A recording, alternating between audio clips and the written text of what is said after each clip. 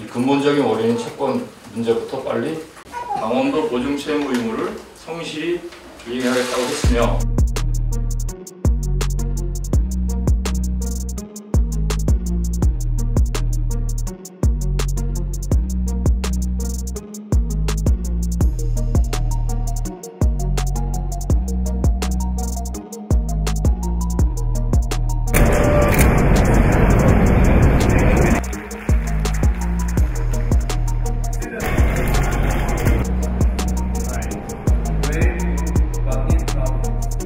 corporation connecting every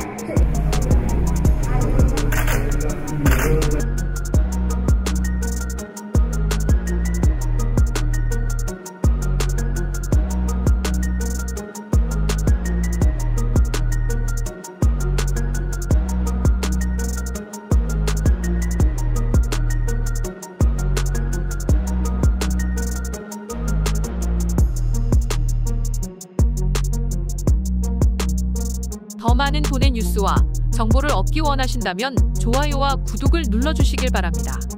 감사합니다.